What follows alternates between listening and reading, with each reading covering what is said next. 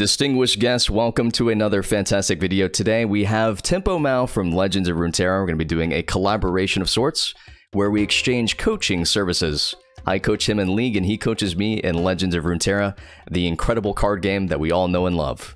All right, so I would like to be coached on Vex this game. I know you have a little bit of experience with Vex. She's a little out of my comfort zone. I'd like to learn her from a control mage player. Okay, we can So- do that. So you can go and show me your rune page. We'll run through it real quick while we're in the session. Okay, so we're going to be starting off with Electrocute. So Fog, a little bit burst. Electrocute is best in slot because it has pretty much an identical cooldown timer to our Fear, so our Fear is at 25 starting off. Electrocute is also 25. So when we have Fear, we pretty much Oh. always have Electrocute. Uh, for second page, if the matchup is bad, we run Taste of Blood for the additional sustain. We could assume that's Lux mid because she banned Zed. So against a very long-range champion, Taste of Blood is actually better than Cheap Shot. But if you're against melees or short-range mid-lane champions, you can go Cheap Shot for extra kill potential. Mm-hmm. If you're in a lane where you have no kill potential, you can run Zombie Ward or Ghost Poro. But for this particular game, we're always going to run Eyeball Collection because we're not good enough to go any other option up until right. Masters. Now, finally, Ultimate Hunter is basically what enables the most gameplay for Vex because 99% of your interactions are going to be centered around the Ultimate. Mm-hmm. So, whenever you get stacks, it makes it easier for you to create more opportunities or gameplay just by having that Ultimate available at all given moments. Secondary page, we have quite a few options for this particular game. We're going to go Manaflow Band, so it's the little blue one. So Manaflow Band is great because it gives us additional mana pool, which allows us to wave clear infinitely. And then mm-hmm. Transcendence gives us extra cooldown so that we can cycle through our abilities, which also allows us to cycle through Fear faster. Oh, okay. Cool. A lot of little synergies here. Yeah, so I prefer to run attack speed just because it helps with wave clear, but against long range matchups like Viktor, Azir, Lux, Adaptive Force 2x is actually fine. It depends on personal preference. But if your goal is to farm consistently, I would recommend just having the attack speed. Yeah, I'm not super used to her auto, so attack speed probably helps that, right? Yeah, because it makes the windup animation a little bit shorter. Okay, that helps. So pretty much the first thing we do when we're in a game like this is we do a pregame checklist, which is we assess what elements we're playing around. So our particular matchup is Vex versus Lux. Like what goes into her kit, what makes her strong, what makes her weak. When we think of mm-hmm. Lux, we think of long range, we think of poke, we think of lots of various CC, right? Things that we have to play around when it comes to Lux is her E, and Singularity. It's a giant moving ball that explodes.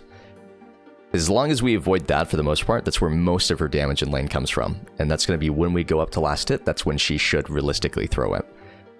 Okay. Um, the other thing is if we get hit by Q, it leads up into her E and R, so it's always important that we're not getting hit by the snare. Vice versa, what does she have to play around when it comes to our kit? If she gets hit by a stray E, then she has to deal with our Q follow-up damage. Okay, so our Fear and our E are one of the easiest ways to apply our combo. Yep. Uh, if we don't have Fear, that's when we throw around individual cues, which is something that she'll have to space accordingly for. And then eventually when we unlock 6, that's the main bread and butter of this champion. So you're going to go D-ring two pots. Alright, so level 1, typically what we want to do is hit the tab button. What summer spells does she have? Got the barrier. What's her keystone? Comet. So she's got a stronger earlier game, but she doesn't scale as much as First Strike. Um, she has an extra defensive tool that we have to play around. So our goal kind of is to push the wave level 1 to get level 2 faster, which allows us to have a skill advantage. And we never, never, ever want to use our fear like that. Okay. So every single time that you throw your skills out to kill minions, you don't actually have pressure to trade with Lux, even though you're stronger when it comes to trading. So right now she's on cooldown. And kind of what we're dealing with right now is that your positioning isn't what allows you to get in range just yet. Right.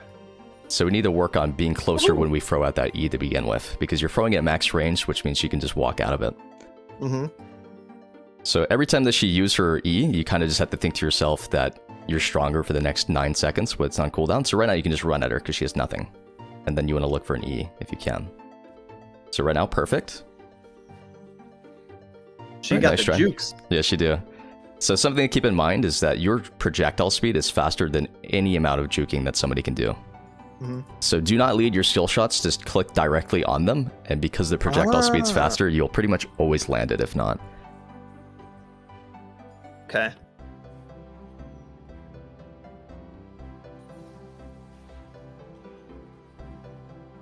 Okay, so we're stronger right now, so we should take the trade. And then we run into her, full combo, and then we can disengage, pop a potion.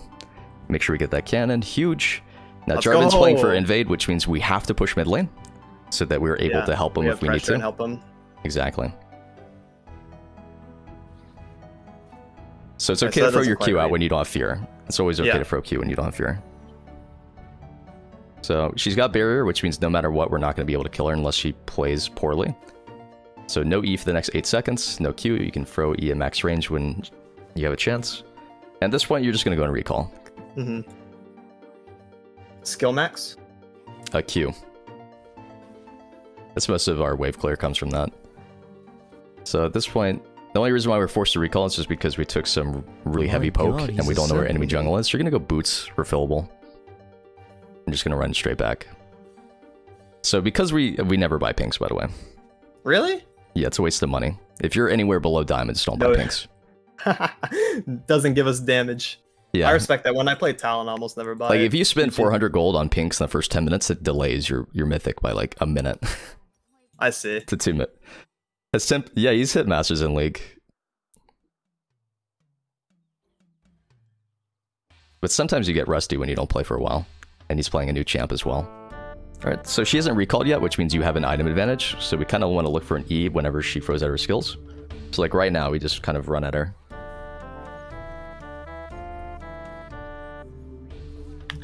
Okay, so just keep in mind she has barriers, so we wait that out, and then we can look for combo.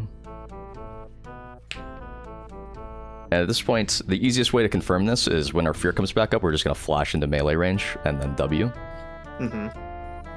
so we gotta get up three three seconds. So we just we don't want her crash wave, so we gotta run at her right now and then flash W.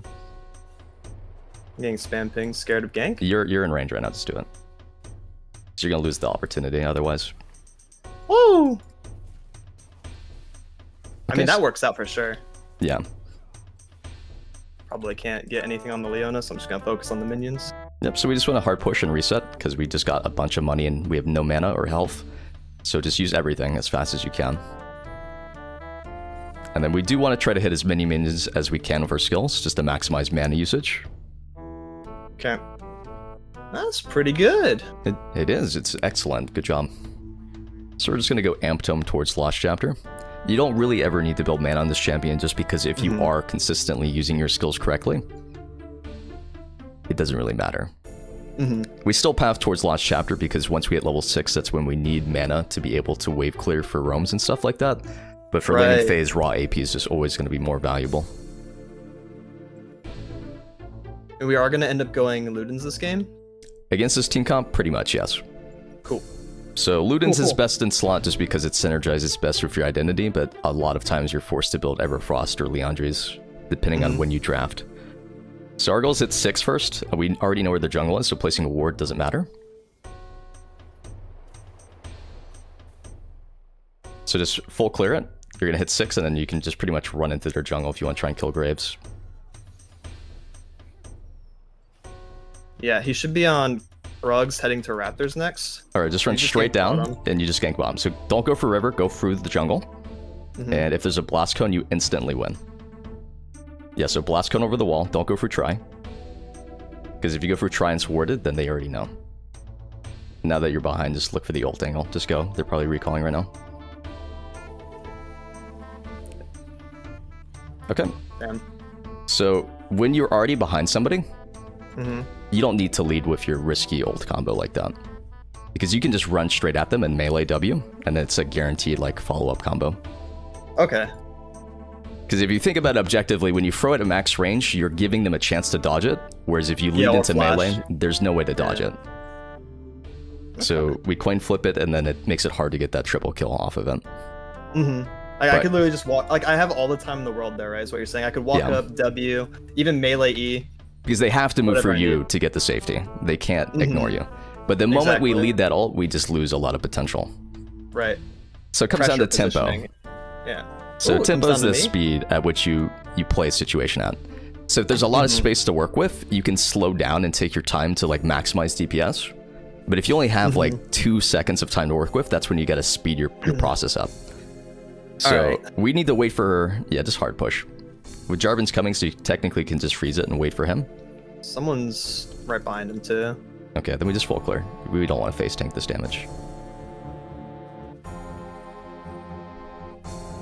Okay, just run at her. If we land E, she gets slowed and it lands EQ. Just kidding. Got a party. Yeah, a bit of a party. W it? Just want to prevent damage because now you get ulted. It's all good. We'll just try to do our best to wave clear at this point, and then we're gonna look for a recall. Woohoo!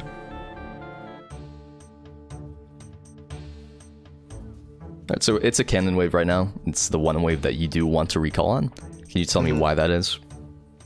Because it's harder for her to push it back into tower That is and correct. make So it and make me miss the XP. Yeah. yeah, it's the best wave to leave on because you lose a lot less than if it were a normal wave. Because in order for her Mhm. to push, she has to kill 1000 HP cannon, and then her cannon also has to die to tower. Right. So more often than not, when you leave on cannon wave, you lose anywhere from one or zero to three minions, depending on if you have tier two boots. Mhm. But it's better than losing six minions, right? To lose two. For sure. Yeah. So we pretty It's much like lost three right there. And she's got a lot of wave clear, so it makes sense that we lose more. But here we're Right, just gonna hard push mid, and uh, we're gonna run straight bottom again after pushing this way. This is what you do in every single game as a Vex: is you push mid, run through the bot side jungle. If you go for river, a lot of times you get awful angles, so you just always go for jungle. hmm Specifically when you're playing on this side of the map. If you're playing the other side of the map, it's almost impossible to gank bot side.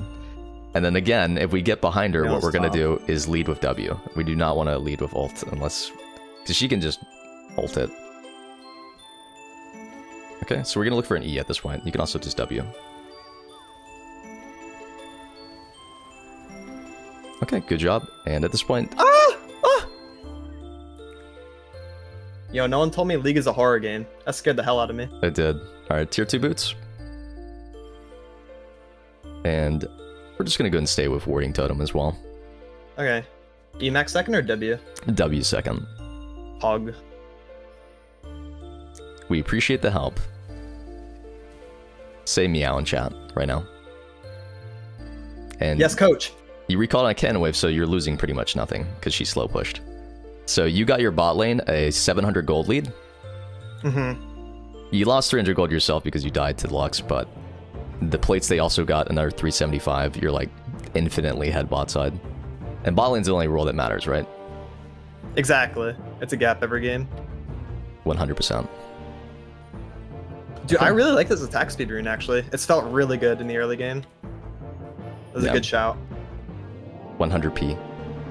Alright, so again, we just push, and then uh, we're going to wait for the next wave this time, and then we're going to push that one as well before we go for a roam. Okay. Alright, so you can go meet the wave as it comes in, so that way you have more time to work with. Because when you wait for it to come to you, then you're just losing valuable seconds. Mm-hmm.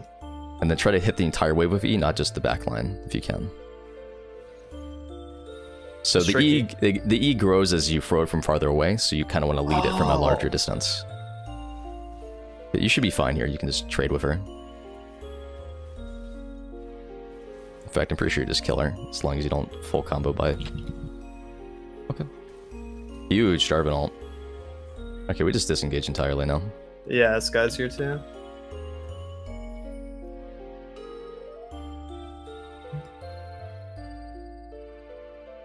Okay, so we're just gonna go and full clear the wave. Uh, as long as Sett's here, he's losing stuff top lane, so just EQ the back Mhm. line, and then we're gonna recall. Now, I would recommend jumping into her, but she's got barrier, which means we cannot do that. Right. Always have to keep the summoner in mind. Yeah, that's why we You're gotta identify it to begin with at the start of the game, where they're Mm, starting keep items. it in our mental. Yeah, Exactly. so you could technically push one more wave, but this is a fine recall just because you have blasting. Mm-hmm. Because if she does stay and pushes one wave, you just lose six minions entirely. Right. So it kind of depends on what she wants to do. Yeah, you want to recall no matter what, but her matching you is technically bad because you lose nothing for recalling now. hmm Alright, so once again, we get mid lane, we're going to hard push it, and then we're going to walk towards the side lane. Okay. When you're playing against long range matchups where you don't have kill pressure, you just perma roam, because there's nothing else you can do. I like that play style. hmm Guess we need to cast from a bit farther. That way it hits everyone. Yeah, I've never played Vex before. I think like one AI game. Okay, so I don't the crazy. nitty gritty like that. Alright, we run for jungle again, don't go for river. Oh yeah. Good angles, good angles. And if we have Blast Cone, we take Blast Cone because we go through Tri-Bush Vision without being seen. I could probably catch her even on tower. Oh, there's Graves here. I have a couple seconds to pull this off. Flash W? Yeah. Okay, you're fucking And walk out. sick. Alright, so you're Let's gonna clear bottom now. Just stay bottom and full clear. Yeah, And uh, you take this tower they for free. You're about to get Yeah. so much cash money. Only one nearby is Graves that I have to worry about. I saw Leona earlier. Lux is on mid. Try to hit everything. Do Huge. that. W all that. Don't miss cannon. With an auto. Fucking insane. Incredible. Okay, so we could technically run towards this just because we have ultimate available. Yeah, yeah, yeah, yeah. And priority target is their backline. We don't want to get the Leon unless it's a reset. Okay, you can go for it. Okay, now onto Graves. Perfect. And really great use of your, your W. You walked behind him to push him towards your teammates. Mhm. I don't know if that was intentional or if that. Okay. you reset here. You reset here. You've got 2,000 gold. Yeah, probably can't really help much anyways. If the enemies commit to something, then You just don't want to overstay. Yeah. We're we on need- uh Ludens as well. Yeah, so Ludens, and then we grab Ruby Amp. You can also go uh, Amp Tome and Dark Seal. Probably better. It's going to be in all items. And then we're going to swap to a blue trinket as well, if we can. And then just run straight towards mid. And if nothing happens mid, you just start walking towards bottom instead. She has no ulti. hmm Oh, let's Should go. be a free double, actually. Yeah, cancelled. Okay, we keep fighting. We look for max range E. Maybe catch her with a stray. Oh! Got her with uh, a stray. She has to hold that. Steal the cannon from Jhin. We're gaming. We're gaming. absolutely gaming. We don't need to put a word here because we're not. Oh, So done. hard push mid, hard push mid, hard push mid. So the one thing you gotta it. do is you've wasted three mm-hmm. words this game because you're just wording for the sake of wording, but they're not meaningful Mm-hmm. words. So it's hard mm-hmm. push, full tempo. You want to put as much pressure as you can on this tower. You don't have vision of four people on the map right now, but you do have bot side vision, so we just want to hug the bottom. Yeah, especially with Seraphine here. Yeah, and you do in. you do want to hit the tower. Okay, now you can use blue trinket Where? on the rift trail play. I'd use it on the bush, pixel bush. Yeah. Okay, and now we look for an ult. I think they just kill him. Okay, go on her instead. Okay, so you want to E before you Q in this situation? And then just look for another ult? Just yellow it towards wolves or something? I'm gonna go into the bush in case someone's there. Okay. Yellow it. Love it. It's just gonna run out anyways. Now technically it does recharge faster if you don't throw it, just because uh, you gotta wait for it to fizzle out before it disappears for the cooldown. So you do lose like 2-3 seconds if you throw it at like the last second.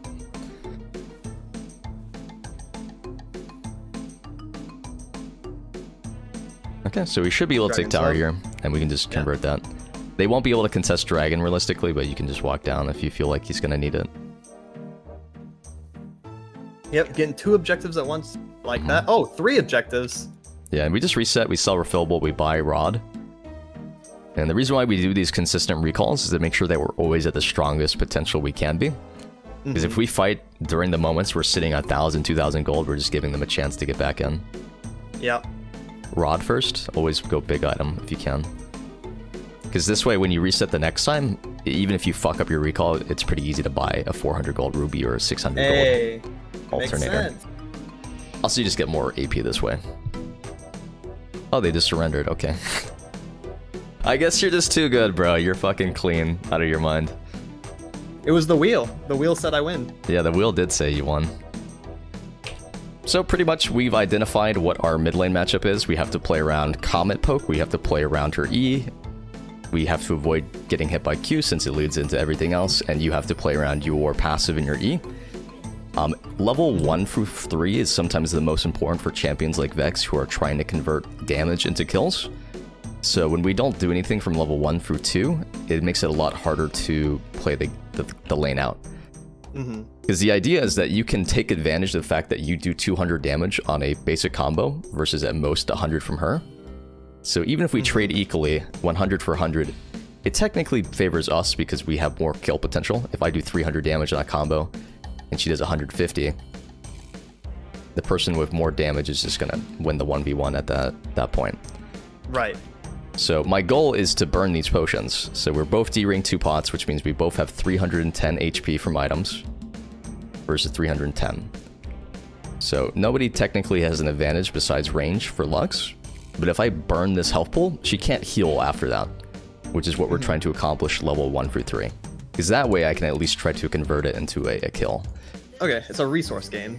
It is a resource game. When you're in matchups where you cannot get kills, you focus more on mana resources, but your goal as a, a snowball mage, skirmish mage, is to fight and convert to kills. So if I can't do that mid lane, I have to do that elsewhere, which is why we just keep perma roaming bottom after wave push. Because we lose nothing for doing it, but we can at least get our advantage. So here, when I say to auto for level 2, it's so that we can hit level 2 faster to get 2 skills versus 1. But the issue is that when we lead with E onto the back wave like this, uh, we're basically vulnerable for the next 14 seconds, 13 seconds. And then we don't have fear for 25. So mm-hmm. this is a major tempo loss because during this period of time, she is always stronger than us because she has that range advantage. So we need to use it as a deterrent, but also as a way to segue into like a trade. But when we do this, we're mm-hmm. basically, we can't do anything. We just lose tempo because the whole point, right, was to get damage in early. How do I get damage in if I can't do anything for 14 seconds? Mm-hmm. So that's what we're trying to avoid. So if we want to create a situation where we can always land a skill shot, that is when they go up to last hit. So this is called a last hit window. Yeah. So During the animation, like the force wind up. Yeah. So she's pathing towards this. This is when we would throw our E, so it goes from being a coin flip at max range to being an 80-20. So we can land it consistently 80% of the time if they don't play around missing a last hit. Now the issue here is that we both have to trade autos on these minions, so I probably would not have been able to go for it unless I gave up the minion. Mhm. But regardless, I want to throw my E when it's valuable or when it's efficient, not when it's just a gamble, which is what we did mm-hmm. the first like three E uses. So when it's our turn to last hit, we pretty much want to create as much distance as we can because we're trying to play around her E. So obviously the projectile speed's pretty slow, so if we're playing at max range, we can just walk out of it before it lands. But she's going to try to do the same thing to us, which is when we go to right click, she's going to try to throw her E because it's pretty consistent, right? Yes. So like right now, I get my auto. I technically am way too close for this. Mm-hmm. Because right now, I can't pressure this minion anyways because I don't have E. So instead of farming it at melee range, I could farm it from here, I could farm it from here, I could farm it from here. But I'm 100% in E range right now just because I'm standing exactly where I autoed the first minion. So the reason why you're taking damage here is because you're technically pathing into her instead of creating space between the two of you when you're weaker. I But yeah. now, she's on an 8 second cooldown. So there's 8 seconds where you are stronger in every capacity. So this is when we want to make this rope shorter. We call this a tether. This is how we gauge maximum distance. And the way that we apply this is we just think about what is the max range of every single skill that a champion has. So this is her E range. This is probably your E range. But she doesn't have E right now, so her actual range is like this Mm-hmm. Because it's only autos. because it's only autos. So during this time frame of 8 seconds, I technically have more range options than her. So I have two options. I can lead in with an auto. This is the easiest way to proc electrocute combo and the fastest way to do it. But the thing is, because she naturally outranges us more often than not in situations like this, we're going to just do short combos and not really play around electrocute as much, unless we're just infinitely stronger. Right. So E auto, we don't get electrocute, but we're not giving her a chance to do damage back because during the fear, we're just getting out after we proc auto. Mm-hmm. But if I go for auto E auto, I'm letting her hit me back the entire time if I mess it up on the back end. So Yeah. here, we have eight seconds to get closer, so that way she can't just dodge it like this at max range. Right. Right. Or alternatively, we have eight seconds to wait for her to go for this last hit and then confirm it that way. Mm-hmm. So again, we use our E like that. We are now sitting on a 13 second cooldown. And she's stronger than us. So when I go up to last hit these minions in an average Masters game, they're going to punish you on that. Or they'll throw an E, they'll throw an auto attack. But it's really, really bad to miss skill shots early on, especially when it makes up most of your gameplay. Mhm. So I find it difficult to approach this minion because at this point I'm trading 13 gold for like 100 damage. Yeah, Which- literally. which E's back yeah. up. Now, she fucks up because she doesn't understand lasso windows herself. The goal is to create more opportunities for yourself to succeed so that we can play the game the way we want to. Hmm So it's all about being proactive, because if I understand when a minion's about to die on both sides, not only can I protect myself, I can put myself in a position where I can aggress on the enemy. Because if she goes up to right click this minion with no E and I'm standing over here, am I close enough to combo her?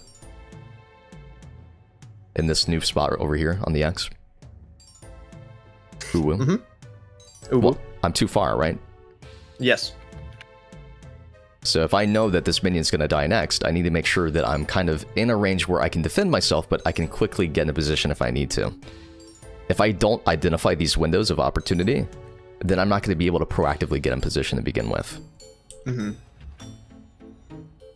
So here, she's pathing into you right now. She has literally no E. So you could start auto trading here if you want to and run her down with Looming Darkness. But yeah, you try see, to get an electrocute proc in there too. yeah, but you're running away Exactly. here when you have Uh-huh. you you're stronger because you're one skill Uh-huh. advantage. Even if she trades damage equally, it still comes out in your favor because you have that kill window advantage and you have a Jarvan that's early game. But creating distance here is really, really bad. hmm Because now we lost the chance to do 250 damage, which would have burned both her potions. Hmm And then we wait for her cooldowns to come back up, and if we trade when they come back up, then it's just kind of griefing. So we hit level 2 first, which is fantastic. And you play this really, really well. So she burns her you. E, and Yeah. we now know again that she has nothing available, Uh-huh.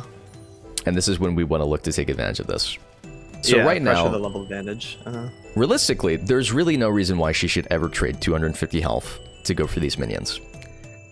Because you have a level Mhm. advantage, but they're going to do it anyways because they don't know enough to know that's bad. yeah, I thought she was just gonna sit on tower and wait for crash because you kind of have to the level deficit. But yeah, I miss. Yeah, so she gave you a chance to get 300 damage here. Yeah. Uh, we misplay because we're not familiar with casting our E quite yet, which is understandable. But when we lose out on 300 damage like this, this affects the way we play level 2, affects the way we play level 3, and, and so forth. Oh yeah, this dictates the pace of a lot of the early game now. Th- Yeah. This play right here, hmm it's like pivotal. Because you pretty much would have been able to solo kill her without burning your flash ignite earlier hmm if you just traded better. hmm Because we take this damage deficit and then we continue to build up on it, momentum wise, and then you convert that to a kill when you have enough damage. Yep. Because right now, if You're I right. flash WEQ, I do about 300 damage without Oh, ignite. noob Vex. Yeah, don't watch. Oh man. So right now she's stronger than us. She should have looked for an E, but she didn't. Lane's kind of in a decent position for us. But if we are going to push really aggressively like this, we do want to put a ward down on the ramp entrance if we can. But that's kind of the thing, like when you play League of Legends as a mid laner, you have to know where the jungle starts. Yes. Because yeah. if this was something like a Kindred or a Jarvan, and you were pathed up like this, you burn flash every single time. Mm-hmm. So we didn't identify where the jungle started because we didn't think about thinking about that. So Yeah, yeah. if we put this into our checklist, which is 130 every single game, you have to ask yourself this question: Where is my jungle, and where is the enemy jungle? Mm-hmm. So we come back to lane. We're both equal. She froze at her E, so next 10 seconds you have an advantage. We're not trying to minimize space when we're stronger, so that's kind of a missed opportunity because she is playing very aggressively with her autos. And then we go in when she has E up again. That's true. Yeah, I take two E's without trading anything back. Yeah, so cooldown windows are something that definitely affects the way we play Tether, right? Because if I'm placing this range based off skills that are available, I have to be keeping tabs on when these skills are actually up or not. The mm-hmm. moment I think, oh, she has no Q, she has no E, that's when I think to myself, am I stronger? Am I weaker? But here, she's giving you a chance to do damage back, right? Mm-hmm. Because realistically, she can just max range you here, get 200 damage for zero, and then walk away. And that's a favorable trade for her.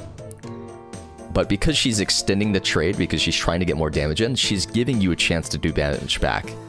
So if she just QE'd auto you at max range or just QE'd, it's like 180, right? For zero. But the moment she trades back, she gets another auto in, which pops Illumination, goes up to 240, and then you get to do 200 damage back. So like, which one of these is obviously better for you? Yeah, us netting the uh the uh 240 over 200. Yeah, because we're getting damage back in. She gave us the chance to do damage back so she could get 60 more. But this damage isn't always great for Luxus. Now, Right. you are outranged, and if she's a 10 times better player, like that is a meaningful trade, I guess, but she does allow herself to get ganked by Jarvan or you if she plays really risky trades like that. So this is great for you because, again, you just outvalue her on this trade because she's pathing towards you.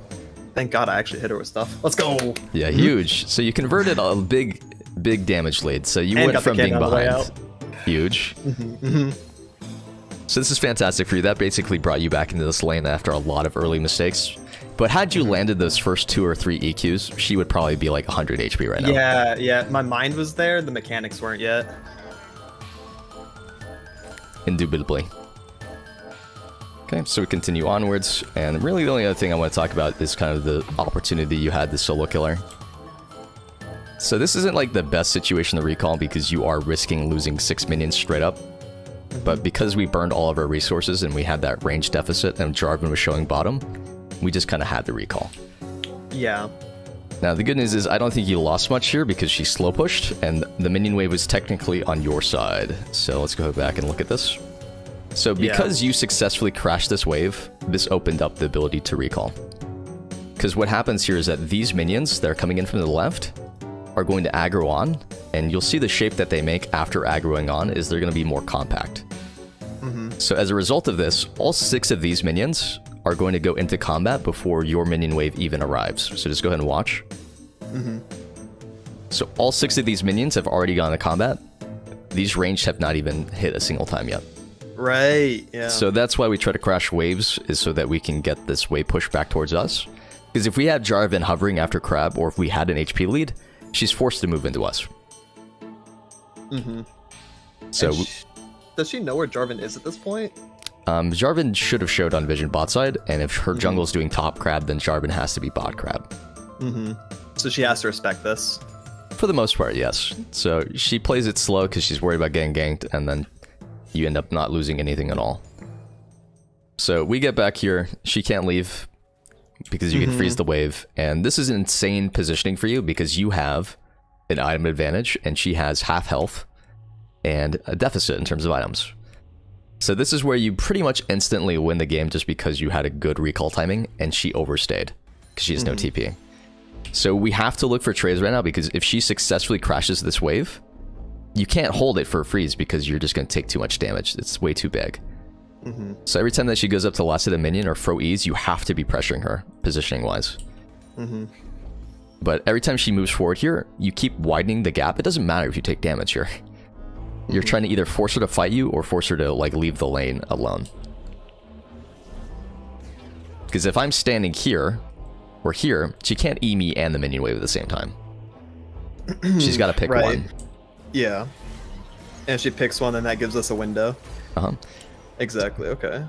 So here, this ends up being really good for us. We get the E, and at this point, we full commit. We pop the ignite early. Um, igniting early is always good because it means you're just getting the full length of the damage before you go to tower. Yeah. Sometimes that makes the difference between living off a level or living off of like Triumph proc. Mm-hmm. That's true. Mm-hmm. Okay, so kind of an awkward situation. Yeah, because Yeah. we we face tanked all those minions for a hot minute. But the good news is we burned her her barrier, and we 100% we always kill her off flash play. So what it Yep. comes down to is can we get the flash play in? And the way that we approach this is the moment you have W up, you should just basically be running at her because she just used her Q. That's true. Yeah. Because you could throw E at max range, and if she flashes it, you get a free sum advantage. And if she doesn't, you get a kill. Alternatively, you just flash W. So here, you are quite literally in range to flash W already. Mm-hmm. Now, the issue here is that when you go for the flash W, you don't combo fast enough, and she ends up flashing after it. Mm-hmm. And that's just because you over-respected your teammates' pings. That's true. And if you had just flash W'd here, she would have been dead anyways. Yeah. Yeah. Him spam pinging kind of threw a wrench in my mindset. All right, so she's got no Q now. play. So you're in range of flash W. Mhm. You wait until the entire duration of your fear to run out before you even free the EQ. I see. I, I slipped an auto in instead. Yeah, because you can auto on the back end, but when it comes to this, Your fear only lasts so long, 0.475 seconds. Like that is Uh-huh. enough time to land your EQ and do 300 damage, 100%. Mm-hmm. So this is a situation where you played the tempo slow. You tried to extend the combo by adding in those autos for maximum DPS. Mm-hmm. But it wasn't a Don't need situation where you needed to play the tempo slow. You had to play it fast here. Yeah. because you're working on a time crunch. Now this goes towards your favor because Jarvan has a really great rotate here. Really fantastic. At this point, you've basically won lane because you now have a gold advantage off of having that assist. You're going to get entire minion wave for yourself. You're going to get the next minion wave, which is 250 gold combined. Each wave is 125. And you're also denying her a minion wave. So this is pretty much a 700 gold swing off this play. Mm -hmm. Just because you took it. Because if you let her recall, you would not have converted that entire thing into anything meaningful. So here, Makes sense. our goal is tempo with the momentum. We need to shove this in as fast as we can because the faster we push it, the faster he goes in tower range, the more CS she loses. If we play this slow, then she's going to get more minions than not. So you're sitting on EQ right now for almost three seconds. Mm-hmm. Now, had we casted it three seconds ago, it would almost be up again. And then you could Q again. Because mana mm-hmm. isn't the issue here. It's just getting it pushed in before it's too late. Mm-hmm. So now this is a double-edged sword because if I push this in faster, this also means I get to reset faster, which means I get back to lane faster. Because the Keep four the to five going. seconds keep the tempo going. Because if I get here faster, I can do another wave crash and then go look for a roam. Because every right. time I'm off the map, I'm giving them a chance to have number advantage on whatever play that's happening. Mm-hmm. So we continue onwards. We recall. We've got a pretty significant advantage now. We're 1.7 versus 1.4. Wave is slow pushing back to you. You know she has no flash. So if Wave is going to slow push into you, that means you can default the Wave to stand here. And then every single time she goes up to walk hit or last hit, she's got to run this entire duration back to her tower. This entire distance is going to take her like six seconds if she's ever out of position. Mm-hmm. Now, this also means that she's vulnerable to ganks, right? Anybody can run mid here when she's slow pushing in your tower. So she has to respect this because she does not have boots, she does not have flash, she does not have barrier. She went tear, which means that she just has a bunch of wave clear potential. Mm-hmm. You put a ward down here, it doesn't matter because you already saw Graves down here. Mm-hmm. So you basically just wasted like 40 seconds of this ward. Yeah, I'll probably see him on try as well. Yeah. So it's not the most efficient ward. Like it has a purpose, which is to dissuade a gank. But at that point, if I put it here, I can just ult in on the graves, or I can use this as like advance warning if I'm playing aggressively. This is kind of a shallow ward. Mm-hmm. Yeah, I want to do Pixel, but I was like, oh, I'm gonna miss Cannon XP. Yeah. But warding is based on where you are on your wave or what you're trying to do with the wave. If I don't have mm-hmm. time to run this pixel ward because I'm in lane right now, that's fine. But like, this ward didn't matter anyways, just because mm-hmm. we had that information already. So, Exactly. so yeah. this should be an instant when the moment you engage this roam, because you fast push that wave, look at where the wave is. So it's 620. between one and two. Yeah. So let's think about when the waves actually crash here. So because you pushed it perfectly, you got nine seconds of free time to run all the way over here. Mm-hmm. So this is perfect. And this is where you technically threw the game. You should have won the game instantaneously right here. Mm-hmm. So they have to run all the way back to tower, and they have to either move for you or go for river.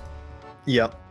So the moment we 50-50 that ult, um, our gameplay opportunities just immediately go downhill. Mm-hmm. So this is the fastest tempo situation, like throwing that ult and landing it, huge, fantastic. But they still have to move through us here, and as a result of the way that we played it, we lost a bunch of pressure. Mm-hmm. Because realistically, we never should have been given a kill here. They ego us, and we get a turnaround kill. Because what happens if Lux just stayed mid there? Uh, I lose a lot of minions on tower. Yeah, so you lose two waves, 250, and Yep. she gets a plate, you lose another 175. So opportunity cost is when you are recognizing what you're losing for a potential play. Mhm. So you set up a great situation where you were losing nothing at the beginning for a chance at getting 900 gold. True. So this was like a 66% chance of getting 900 gold and maybe losing 125. Mm-hmm. But because I of like the way that odds. you, yeah, it's a great play to make. Like this is 100% worth doing. But because of misexecution and then Mm-hmm. If Lux had stayed mid lane, we would have just went down 300 gold for nothing. Mm-hmm. So Graves giving you this kill basically made this play worth it, and she got nothing mid lane in the meantime because she Mhm. followed. So as a control mage, it's always important to understand that if you're going to allow the enemy to roam, you have to punish them for leaving. Or better Yeah. yet, make it to where they cannot leave to begin with by putting pressure on the wave. Mm-hmm. So this ends up being huge for us, and this is pretty much what gives us our lost chapter reset. But again, we Yeah. lost out on 600 gold theoretically. Yeah. Lux lost a lot too for coming late and accomplishing nothing. Mm -hmm. And it's slow pushing towards you as well. So this is what makes it god tier for you because you basically lost at most four minions to be gone for almost a minute. I see. So you're now up 500 gold almost. It's gonna be 500 after you clear the wave fully. And then here, you're just face taking the minions. I would have just cleared this instantly myself. Um, you can't hold this wave because you take a look at where your minion wave is. It's just way too far. Mm-hmm. So if you just sit here face tank, you're gonna lose 300 health. It's good to set up this gank for your jungler. Yeah, I was trying to bait it. I think.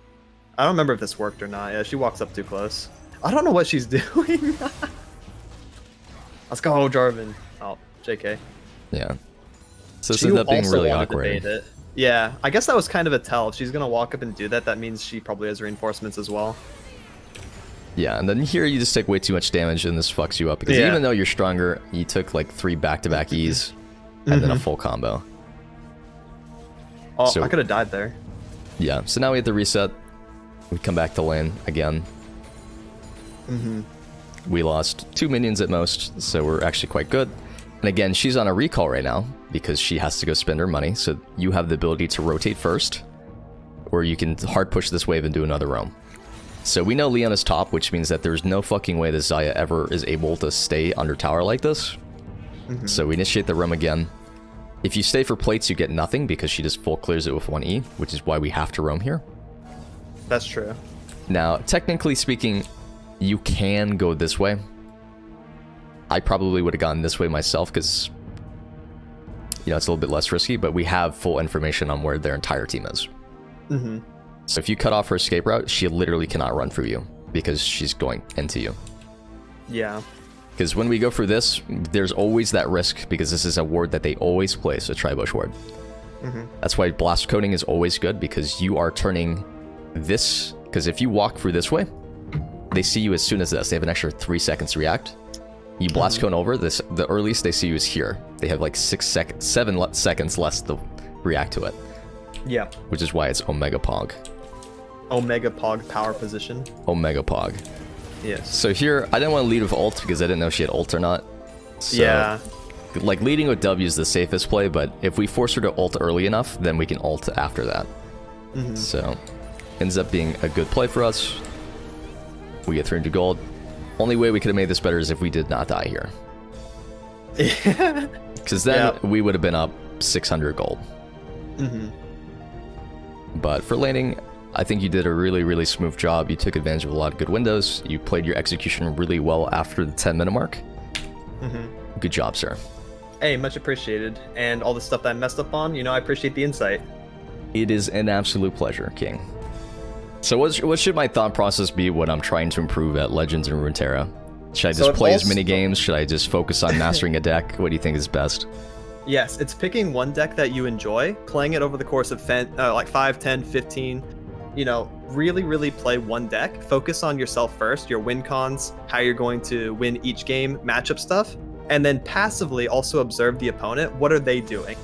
You don't really have to focus on the opponent too much at first, especially when you're learning, because then you're just going to get jumbled with all the information.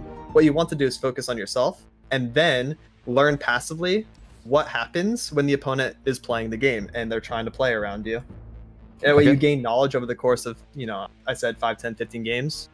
Build that And you get there. experience. Yes.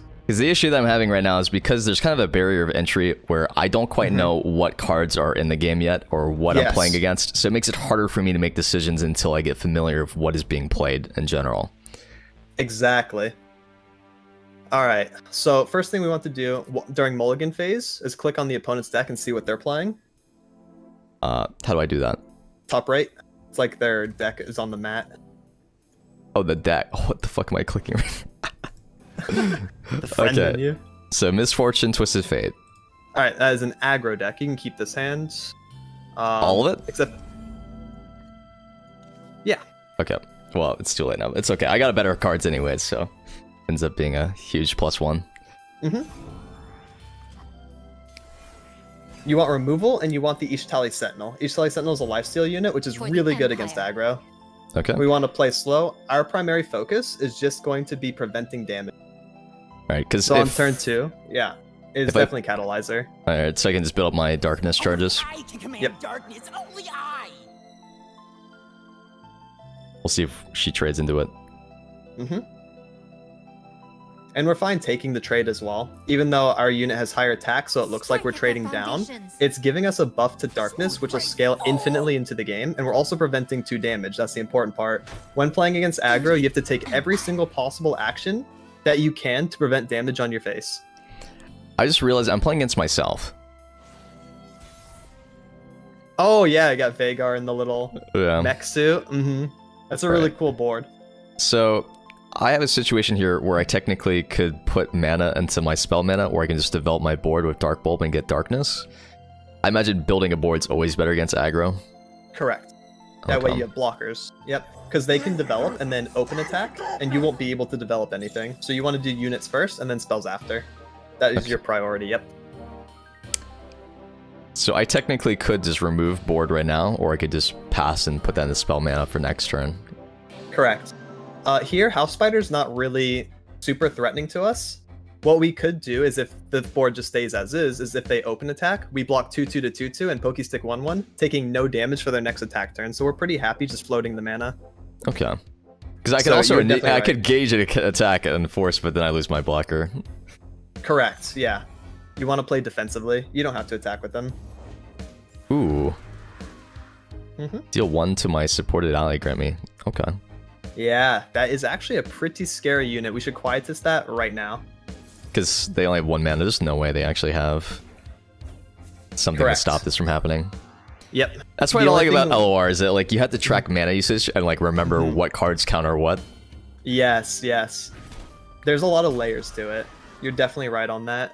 So as long as they play below three, we shouldn't have any of our stuff interacted with because for three they can kill their unit to deal three to anything as a response. So that's going to be the magic number for us in terms of removal. So I'm thinking about just playing uh, Veigar just because there's a lot of HP and I can absorb multiple hits, or I can just keep upgrading my darkness. For this action, uh, I don't think you really have to do anything. I think you could just pass and maybe get a Withering Wail and see what they do next. You want to get one more action out of them, if possible. Instead of developing a Twisted Catalyzer right now. Catalyzer gives us Pokey And- Stick at fast speed if they attack, or Darkness at slow speed if they develop. So that is a very flexible play. I think Veigar is high commitment, and Catalyzer is flexible. And Whereas passing is Withering. Wail is I just kill everything when they attack. Yes. Alright. Those are the three possible plays. All are good, all have their own merit. So it depends on what you want to do. There's attack. Yep, block most. You can Withering, or you can Pokey the 2 1 and be pretty happy taking 3 damage this turn. Did you already see my card? No, he doesn't see it until it's committed. I think it's Pokey 2 1 for sure. I feel like I'm fine with this just because I have really good removal. hmm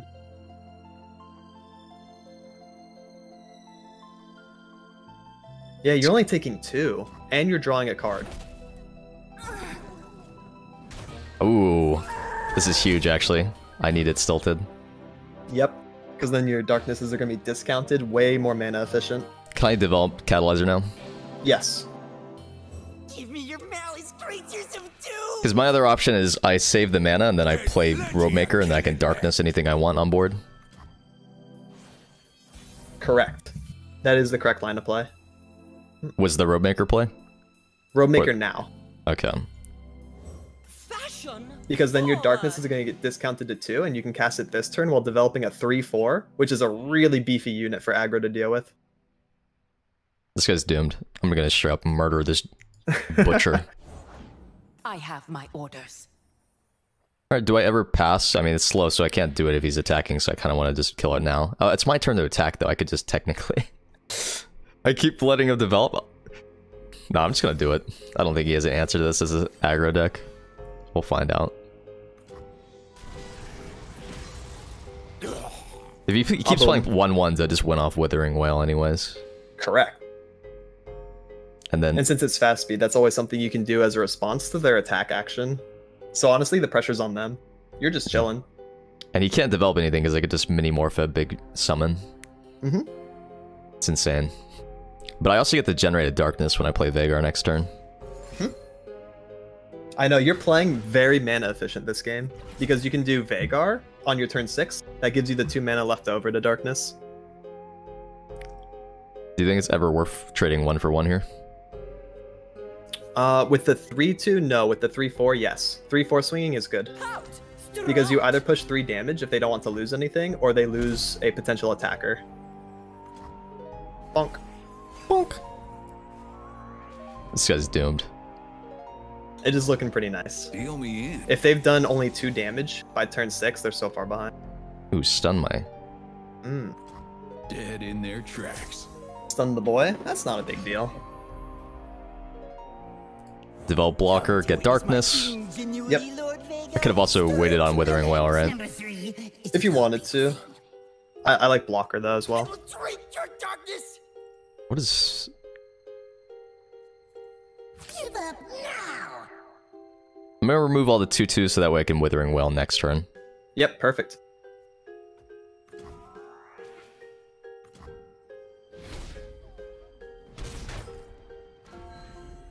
My mind.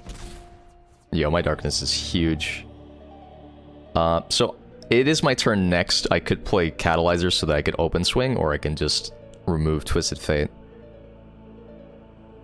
Mm-hmm. Both good options. Both have merit. There's no bad play. Or you can also do Otterpus. Just have like a little 1-1 and prank their hand. Or is that Otterpus? it is Otterpus. I'm gonna see what he has in his hand. It gives me information. Mm-hmm. Yes. You get to see half his hand and mess with them. Oh, this is... Eight mana cost decimate? Yeah, that's gonna do real well for you, friends. That is so doomed, especially if he wants to combo that with other damage. Honestly, I'm Um, thinking about s- open swinging then Withering Wail, or Withering Wail into open swing. I have a pretty crazy idea. I think you can always do Withering on their attack call. Okay. So if you want to play the turn as I could slow uh, and darkness into dark bulb into darkness into yes, okay. yes, exactly. Darkness the TF, and then it forces them to summon something. It'll probably be something darknessable, so then you can do bulb and then second darkness. You're also turbo leveling Veigar.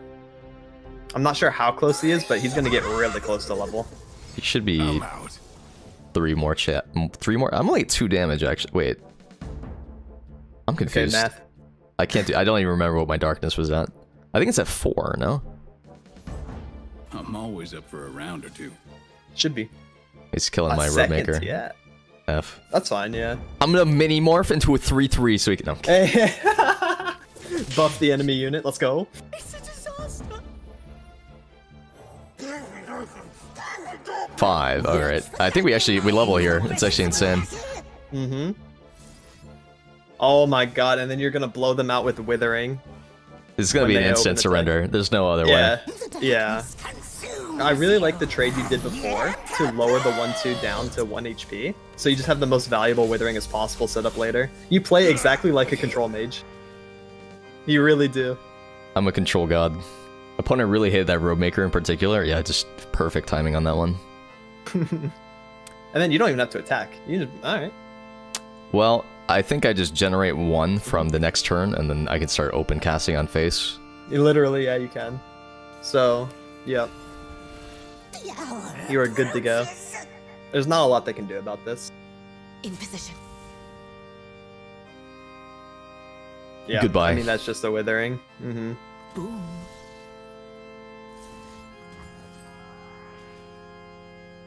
Take eight? Nah. Heal one, buddy. Damn it. Goodbye. He probably has like two decimates in his hand. Yeah. Yep. Tempo Maou coaching unstoppable. 1v9 legend. Best mage of all time! Okay, this is another control matchup, but this one is a lot more unit based than the last one. It's so, So fuck. It's a keeping sinking. I- God, I hate sync decks, dude. Yeah, you scared of them? Uh, They go I- deep. I had fucking nightmares. So uh, when I was doing the PVE thing, there was one deck that was sync based, and it was just straight up. If you couldn't win in like five turns, it was over. yeah, that's what they do. They go deep, level Nautilus on seven, and just drop big dudes. Do you have any Hearthstone experience, by the way? Uh, I think I got to platinum. I was trying to do an unranked to masters on the LOR, My god. and uh, I had a friend who was like top ten who coached me for like maybe five games on this deck. Mm-hmm. But that was a, Okay, a Pog. bit ago. Okay. So the question is, I can generate a darkness, or I can get plus one of my darkness. Mm-hmm. It's just I always hate losing a 3-2 to a 2-1 that's a 1 cost, I- but It does feel bad. Uh, alternatively, yeah, you could play Catalyzer and then just pokey stick the 2-1. During and then his maybe attack a turn. Catalyzer, will- Yeah. Maybe Catalyzer will get a better trade later. Because you definitely want to amp. In this matchup, amping Darkness is your primary goal. Because a lot of the HP thresholds of the sea monsters are 4 plus. So we Okay. need to at least hit 4. so I need to put Catalyzer now, or did you say Yeah. Dark Bulb? Okay. Yeah, Catalyzer now is fine. Open Swing? Uh, no, we're not going to swing with them. We're going to assume they play Sea Scarab here, and then yeah, there he is. I'm on a little bit of a delay, and Okay. then next turn we can pokey the 2-1. uh drag. Yeah, and then block with Catalyzer. exactly. So the trade's a lot better for you, so you don't feel as bad trading it down into a two-one, which I agree it that does suck. Trash? Smooth brain fool! There you go. We'll do it exactly like that. Perfect. Ah, doesn't that feel a lot better? That's a Oh. good trade. Dude, I just got Quietus too. This thing's so broken, holy cow. Ooh. It can hit another drag of theirs if they summon him. So I can either get information on his hand, or I can develop Dark Bulb. I think the Dark Bulb is the play. I agree with you. Yep. then I'm floating one mana in the West. Mm-hmm. I can also use the Attune to get plus one mana for Quietus while developing board to block. Mm-hmm. That would be super important in an aggro matchup like the one we played before. Open Swing? Yes. And then develop the little boy. My little Don't otter. call him little though. I No, Quietus Veigar. this. Oh, but I already have a Darkness. Damn. Oh, that's okay because round start we want to amp. That's Okay. yeah. It's the other half of Veigar's ability. Good, my mother's friend. I totally understood that. I wish we could Quietus Maokai, but they recently changed it, so I can't hit him. It only hits units that have four total stat points. Maokai is six. Oh. Okay. Give them room to spread Ooh. their. Another Scarab. Scarib. Uh, I feel like just Robe Maker here, but I can also just develop fucking Senna as well. I think I just play Robe Maker every single time here. Yes. Yeah. that way we can hit the discount. I want my hat, and I want it now. Lord Veigar, you cannot rush perfection. Your Veigar should be relatively safe. Yeah. What are they gonna grab? Oh wait, they grab Veigar? That's kind of weird. You can, yeah, yeah, yeah, that's good. You can also block 2-2 to Maokai. Okay, so just prevent damage. Not only that, but it will put Maokai in Quietus range. Ooh, oh. That's hot, actually. Mm-hmm. My god, he's a simp. Yo, Reset, thanks for the follow. I'm just worried that he's gonna get, like, two-shot now. It's just, I always play Otterpus here. Oh well. Yeah, for the mana efficiency. Mm-hmm. Because you're gonna be able to play the Quietus anyways, so yeah, you're right. So, I should just Quietus right now? Yes, for sure. Oh no. Maokai is like a muster move unit. It's about the fucking... Vile? That's alright. He's gonna he's gonna do another spiraling. He's about If to he has me. another vial, then that's gonna be kind of rough, yeah. Oh, It's painful. Pain Pecco. Uh, I'm actually gonna pull another Veigar literally next turn, so I guess it's fine. I'm not even Easiest kidding. read. Fr- top deck right now. Fuck. Alright, so I know this seems really, really bad. Actually, it's just bad no matter what. If I had one more mana, I could have actually just done Darkness and Sin into another refresh. Yeah, how sick would that be? I could Um, swing open and just trade everything on the board. Mm-hmm. I'm down for that, and then prank after, and just like play the turn as slow as possible. You're pretty much reserving Minimorph for their turn seven, assuming they slam Nautilus, and you just Minimorph them on summon. Okay. I think we do just have to play Senna, and then we turn the rest of them to absolutes. What What is the other one? Kill a unit. okay. Rot must be cut away. I'm Yes. darknessing instantly, actually. Yes, that has changed our play right here. Second, Meowkai. Meow. Meow. A little bit of a Meowkai. Okay. Let's get some information what he's got. Mm-hmm. Mana efficient too, because then we float three. We don't burn any. Uh, kill ah. plus two, I assume is always better here. Yep. It's interesting they have Atrocity in hand. Us knowing that is absolutely massive, by the way. That's the best possible card to see from deep. Ooh. You were one off the call. There's our Veigar. Damn. So I'm gonna save Minimorph, develop Veigar, Correct. just open darkness. Here for your measurements. This will be kept I could actually just trade here. Yeah, trade 3-1 and then finish it off with my Darkness. dear. Love that. If Veigar makes it the next round, I think we just insta win, actually. Yeah. Especially based off of uh, their hand. Their hand state's really bad. Yeah, they do have a monster to play, but they need to hit deep and play Nautilus. Mm-hmm.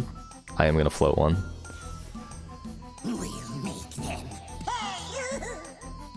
Uh, yeah, I think we play Senna, and then we open attack if they don't play anything, even if they play anything. It's generate darkness. I full attack, and then I can either just have her quick attack and kill the four four. Sun is really cool because she is like a darkness generator. She just makes them over and over and over. Because you can cast darkness during the attack call and get another one. Wait, Mm-hmm. I haven't upgraded my Not thing face yet. yet, sadly. You can still target the 4-4. I think it's worth. Okay, Keep your distance. Yep. I thought he could still block here and then fizzle it out. He can. He Okay. can, but you're I still get the getting a free darkness. darkness. Okay. Yeah. And I upgrade and I just hit face. Yes. Exactly. I am the destroyer of worlds. Guy, I love this animation.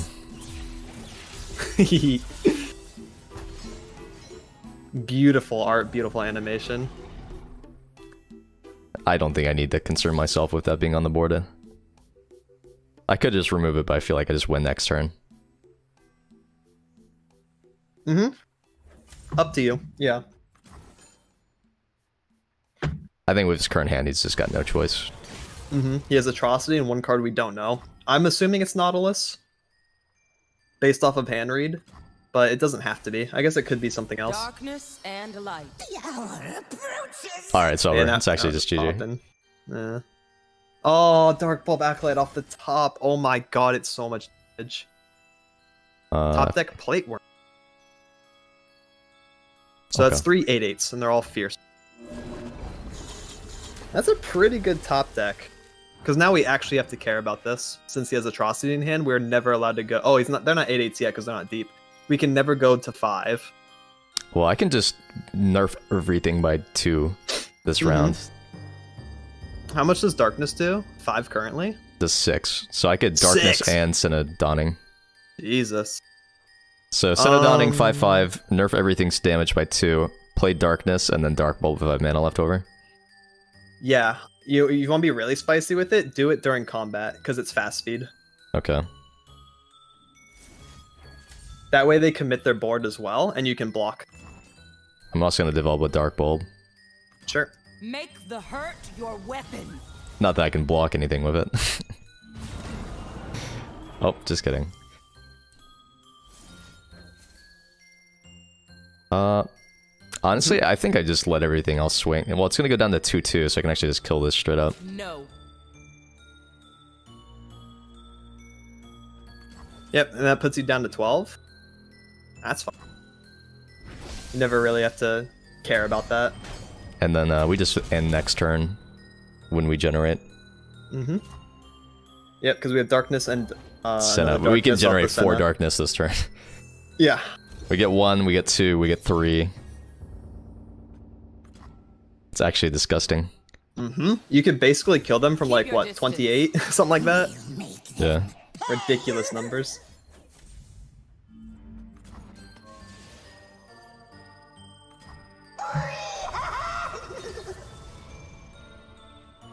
Yeah, and there's quite literally nothing they can do about it.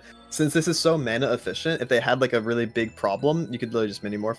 Uh, actually, he just perfectly top deck. what was that? Keel breaker? Deal five to everything. That's fine.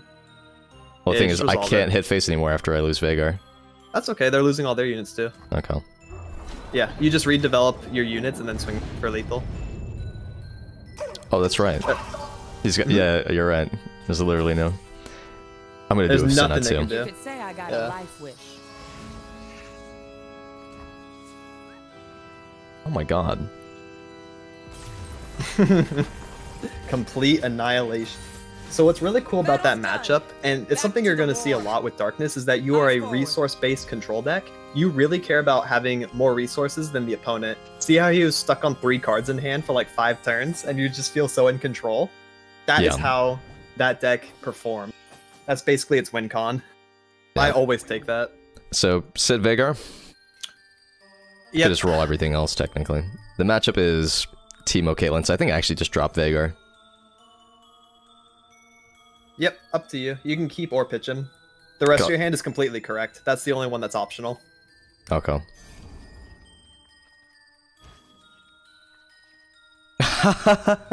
I'm fucked. I'm so unbelievably fucked. All right. Oh, Oh, hand's no turn one. What the fuck? All right, we win. No Teemo on one? Hey, they're not gaming. Reporting in. Oh, there he is. Give me your Mally Street. if I got the open swing, that would have been so nice. At least I get the Vile Feasted. Actually, should I have just Vile Feasted instead? No, I, I think going for Catalyzer is fine here because you're going to do first action swing on three. Oh no, I've been tough What do capped. Yeah. I actually really like there. pu- I really like puff cap decks. Uh huh. They're really strong now. Well, really strong in mid tier, but really really fun. Like you can climb with Puff Cap up to Diamond, even Master. Oh no. I know someone that's done it. My mind's Take three. Eh, it's whatever. You should probably Sentinel heal it back later, but yeah, it's open swing. Yep. Yes, yes. Guaranteed catalyzer value. Maybe he gets another strike in. We always want to get more than one strike if possible. One strike makes the card worth it. Two strikes makes that card extremely efficient. All right, so at this point, I only have one option, which is either Mm-hmm. float mana or I just remove Teemo from the. Oh yeah, we remove Teemo for sure. Hey yo, and plus one drain. I'm huge. And he's gonna play another Teemo. I did my best. I Actually, wouldn't he would he would have he would have puff capped if he had it because he's got one mana. Yeah, it would have bumped him up. Mm, mm, mm, mm. Another one. All right, pretty sure we Roadmaker here develop for block, Yep. and the next turn I can start. But if I play Veigar, I can start plus oneing that way because he doesn't have a way to remove board. Hmm And that's really important depending on matchup. This matchup, uh, we don't really need the extra plus one. Having darkness at three is uh, already good enough. I will drink your dark. And So- oh yeah, yeah, catalyzer three two. What are you Yeah. wearing? And Why- three why four do- two two. Okay, so why do we think he's open swinging like this? Is it just the strike effect? He just wants to put poison cap? Yeah. Um, I don't know. Like I think that's a really weak board and a really weak Does he have attack. the mushroom smoothie thing? What is it? The brew? oh, purple berry shake. Yeah. No, they would never. So he just removes Oh, my roadmaker. It doesn't matter. Oh, he's got quick No. strike though. Yeah. Okay. So here's a cool thing about get excited and discard stuff. Once it resolves, you should check the scroll on the far left. Click on it, scroll down to get excited, and see what he discarded. Stress defense. Oh, that's actually big for us. It's important to know that.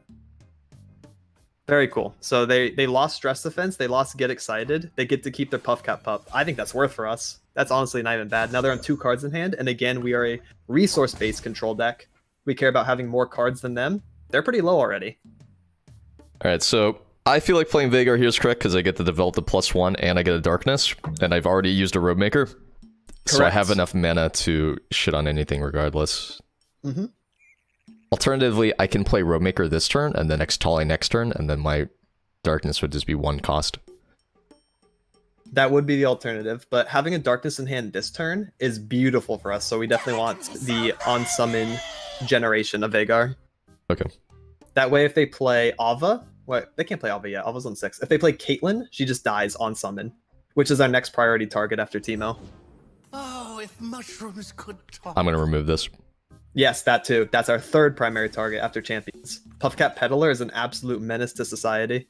Fuck the puff caps, dude. Like it's so disgusting that we. Oh no.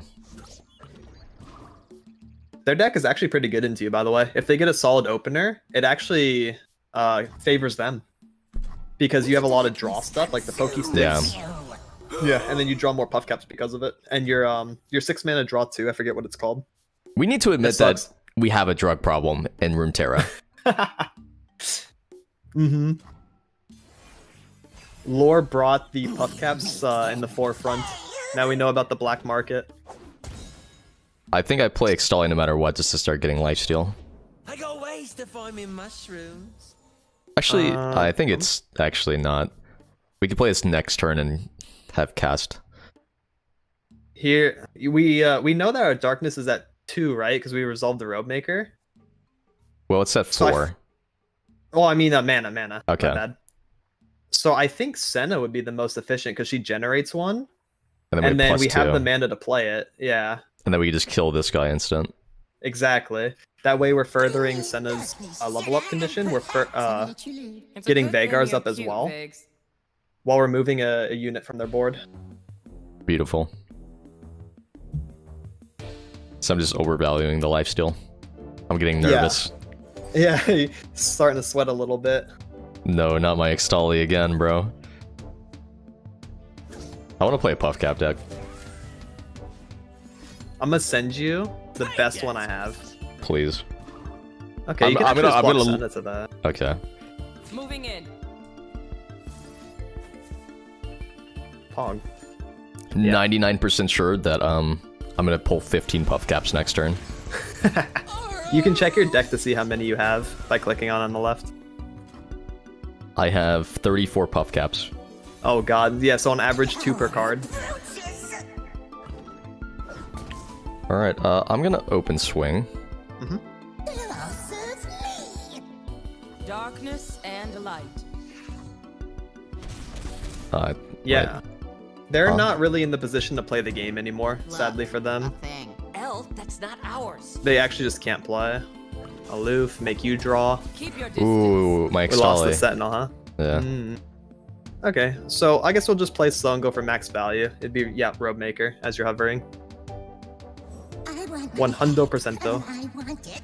Lord Veigar, you cannot rush. No. Get out of my head. Get out of my head. Okay. What was that? It's gonna. Fuck it, I'll just level.